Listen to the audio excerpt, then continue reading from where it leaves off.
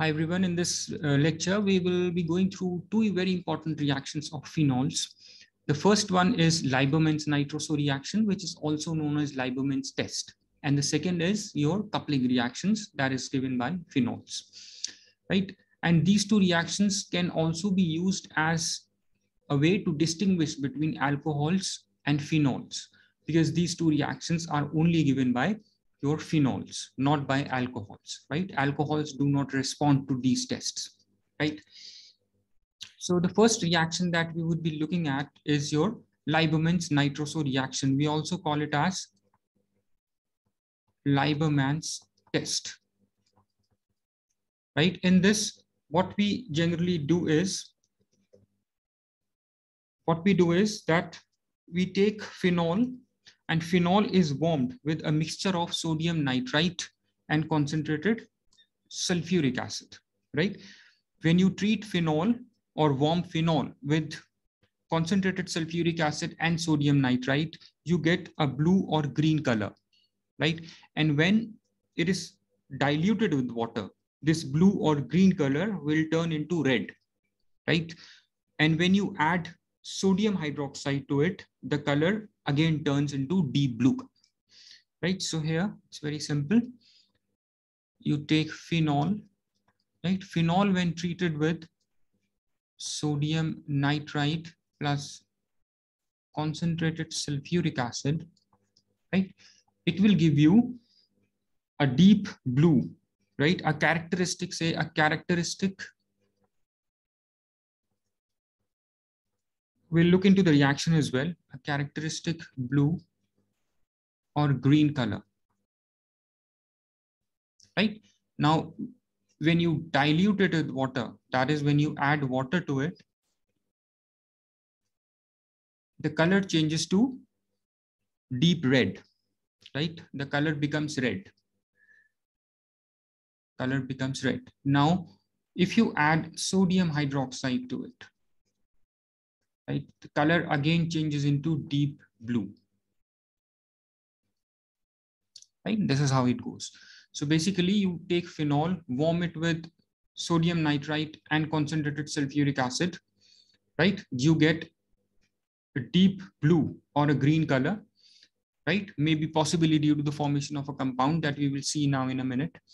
When you add water to it, this deep blue or green color will change into red. And when you add sodium hydroxide to it, right, the color, this is basically an excess of sodium hydroxide. When you add sodium hydroxide to it, the color again changes into deep blue color, right? Now let's look into the reaction that takes place and due to, and the compounds due to which the, this color changing is taking, taking place, right? And after this, we'll look into the coupling reaction. So you take phenol right?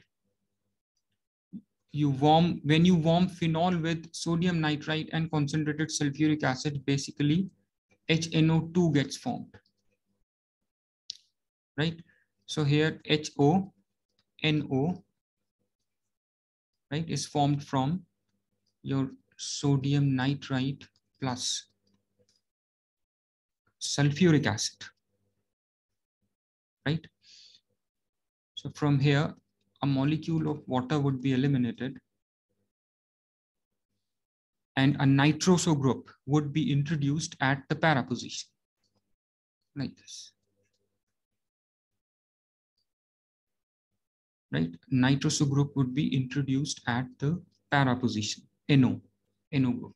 So the name of this compound would be P nitrosophenol.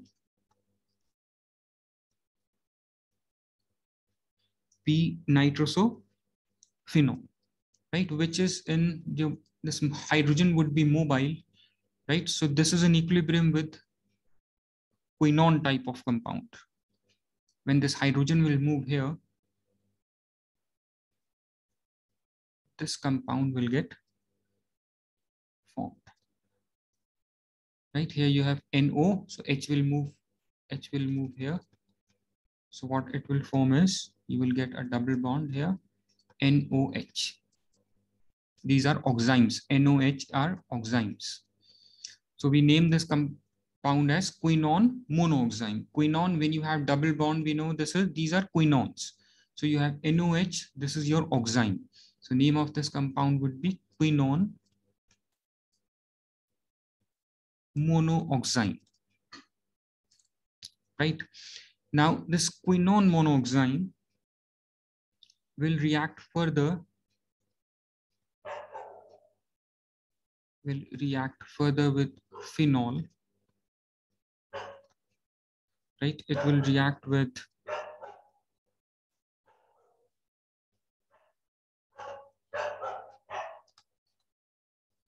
will react with phenol like this.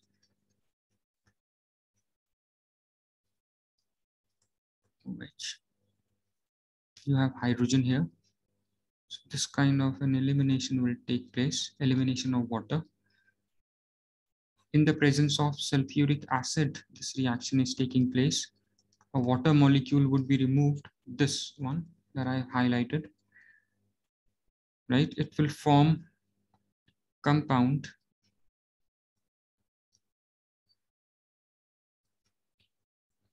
which is your which gives this blue or green color. This one that we got here. Right. So this color is due to this compound that I'm making right now.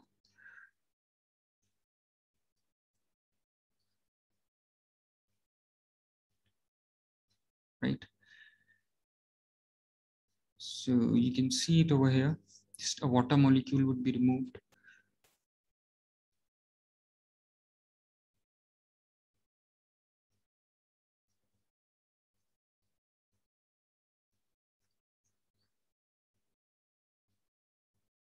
you have a monooxime group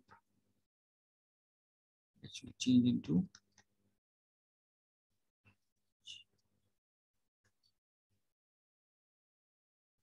two HSO4. This HSO4 has came from the sulfuric acid. Right, so this compound, this compound is named as indophenol hydrogen sulfate. This is your indophenol hydrogen sulfate, right? That gives blue or green color. The blue or green color is due to this compound, indophenol monosulfate, right? Now, as we said that when you dilute it with water, it gives you red color. Now let's see what this red color is due to. Right now you add water to it. Right? Basically this is dilution step dilution with water. So when you dilute it with water this will change into indophenol indophenol hydrogen sulfate will change into indophenol which is red in color. That is why the color changes into red.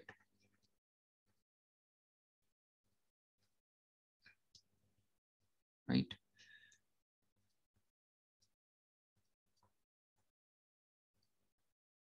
this is how so it is this indophenol indophenol which is red in color. Now the last step when we treat it with sodium hydroxide the color changes to deep blue again. Now let's see what compound will get formed when you treat this compound. This indophenol will react with sodium hydroxide it will it will form a sodium salt of this indophenol, which is blue in color. Right? That's why you get blue color when you add sodium hydroxide to it. So basically, this is the compound that gives you the blue color.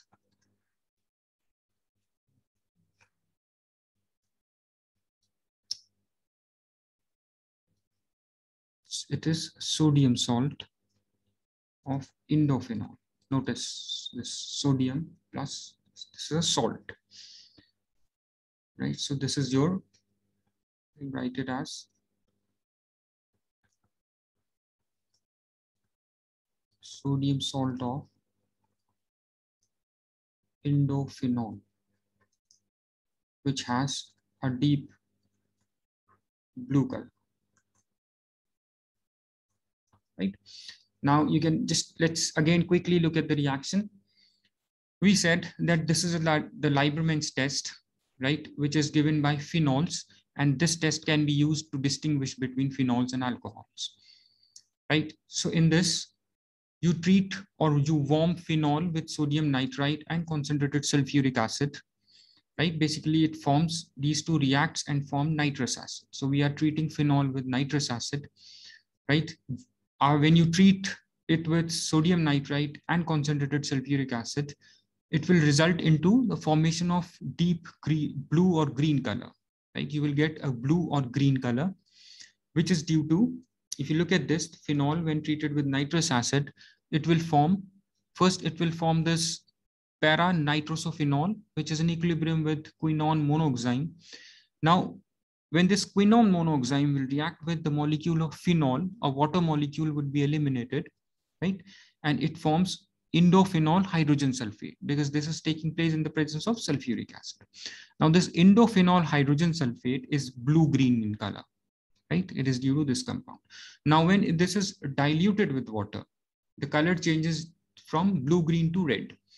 So when you dilute it with water, this indophenol hydrogen sulfate will change into indophenol, which is red in color, right? So when you add excess of sodium hydroxide after this, it turns into deep blue color. Now, when you add, look, if you look at the reaction, when you add sodium hydroxide to it, sodium hydroxide will react with indophenol to form sodium salt of indophenol, which is deep blue in color, right? So this is your sodium salt, which is deep blue in color, right? I hope this is clear. Let's quickly look at the other reaction, which is your, all this as coupling reactions of phenol right? Coupling reaction is basically when you treat ice cold solution of phenol with ice cold solution of benzene diazonium chloride, right? In an alkaline medium and temperature would be around 273 to 278 kelvins, right? It forms a colored dye, right? It gives you, it gives you a yellow, red or blue color, right? So this yellow, orange, color red yellow red, red, i'm sorry the color that you get which is yellow orange or red is due to the formation of an azo dye right? So basically when you treat phenol with ice cold benzene diazonium chloride right let's look right benzene diazonium chloride as benzene diazonium chloride right? It gives you it gives you orange red or yellow color orange yet or yellow color this color is due to the formation of formation of an azodine right? Now let's look at the reaction, the reaction that takes place and the colored compounds that get formed. Like we said that you will take ice cold solution of benzene diazonium chloride. These benzene diazonium chloride salts we have done earlier also. These are actually unstable salts. So these quickly react with phenol to give you azodynes.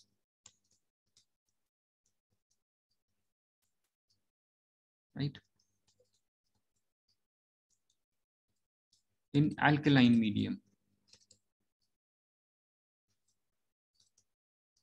Temperature remaining at 273 kelvins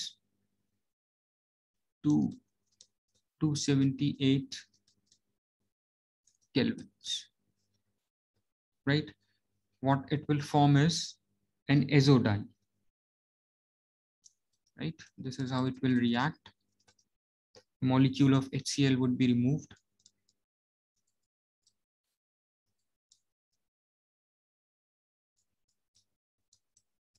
You have nitrogen.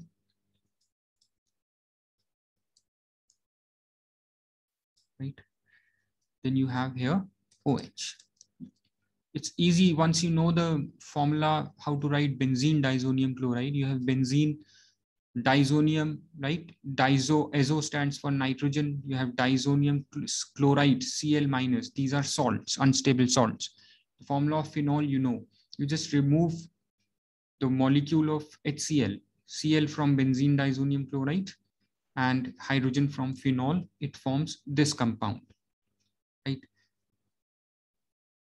This is basically ice cold, right? The name of this compound is para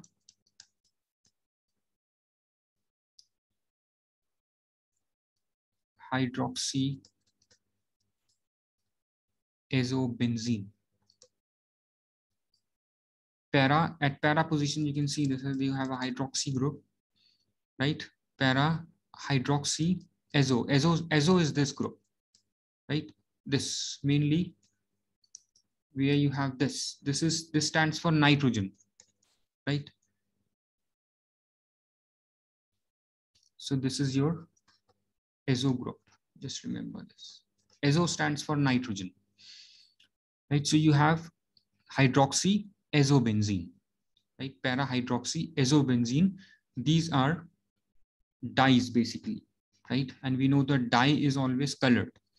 So this is an since you have azo group, so this is an azo dye, right? Which can be, which can be orange, red, or yellow in color. So these, so basically phenol couples up with benzene diazonium chloride, right? Ice cold benzene diazonium chloride to give you to give you colored dyes. Now these colored dyes are azo compounds. These are azo dyes, right? Why you call these as azo dyes? Because you have azo group in these compounds, right? I hope this is clear. And these two tests are mainly used to distinguish between alcohols and phenols. Phenols, you have alcohols, right? So Liebermann's test phenols. Mm, let's, let's write it like this. Phenols give positive Liebermann's test.